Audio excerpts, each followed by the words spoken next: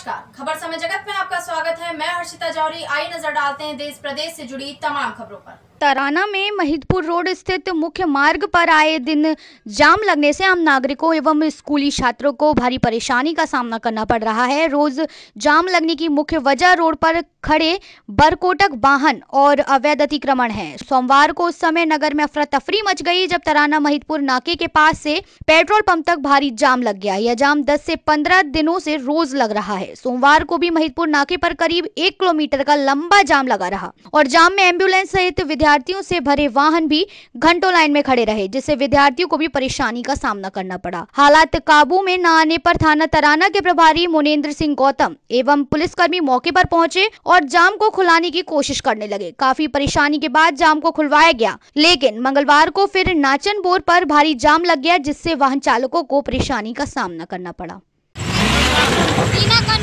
बेटा ये आपको कितने कितने घंटे से आप लोग परेशान हो रहे हो?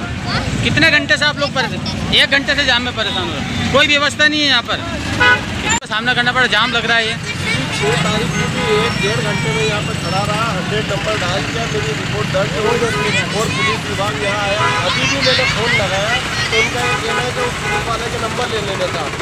उसके बाद मैंने आपको फ़ोन लगा के बुलाया सही यहाँ पर स्कूल वाहन भी दिखा दिखाई दे रहे हैं। बच्चे बता रहे हैं एक एक डेढ़ डेढ़ घंटा हो गया है। अभी भी कोई पुलिस प्रशासन यहाँ पर दिखाई नहीं दे रहा पुलिस कोई भी नहीं आया है ना कोई घूमने को राज़ी। सर कितने समय से परेशानी आ रही है यहाँ पे? कितने दो घंटे हो गए दो दिन से यही खेल चल रहा है और एक एक दो दो घंटे जाम में फंसे रहते हैं। पुलिस वाले कोई भी यहाँ पर आके जाम खुलवाने के लिए तैयार नहीं। उस दिन भी तीन बजे बाद आए थे वो जब खुल गया था जाम। बच्चों को परेशानी जो आ रही है बच्चों को भी परेशानियों का सामना करना पड़ रहा है यहाँ पे स्कूल वाहन बच्चे पूरे फ़ोन लगा रहे हैं। बच्चे परेशान हो रहे हैं बस में हैं कुछ बच्चे वो पेरेंट्स का इंतज़ार कर रहे हैं। मैं खुद अपने बच्चे को लेने जा रहा हूँ वहाँ पर। धन्यवाद। खबर समय जगत के लिए महितपुर से ब्यूरो रिपोर्ट।